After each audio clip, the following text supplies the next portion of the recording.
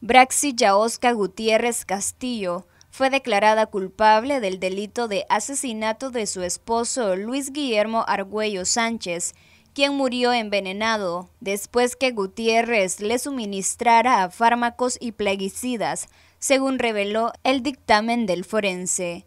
Inicialmente Gutiérrez estaba acusada por homicidio, sin embargo, en el juicio la jueza Marvia Arias determinó que la mujer es culpable de asesinato.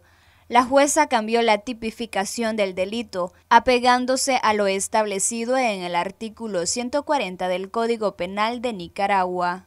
En la audiencia de juicio del martes 25 de abril, en la sala 4 del Juzgado de Granada, la defensa y la fiscalía debatieron sus alegatos finales. El abogado defensor Marvin Mesa Morales dijo que ningún testigo declaró que su cliente le hubiera dado pesticida a Argüello. Mesa Morales rechazó el dictamen del médico forense y se mostró inconforme por la presencia de medios de comunicación. La jueza desestimó los argumentos del abogado. En tanto, el Ministerio Público mantuvo firme las evidencias presentadas y solicitó se declarara culpable a Gutiérrez Castillo y que la condena sea la pena máxima de 30 años de cárcel.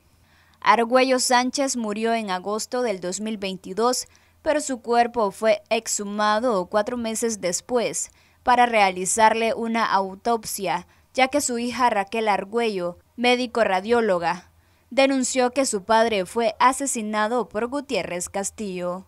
Tras la declaratoria de culpabilidad, la jueza estará dictando la condena en los próximos días. Para Noticias 12, Luisa Centeno.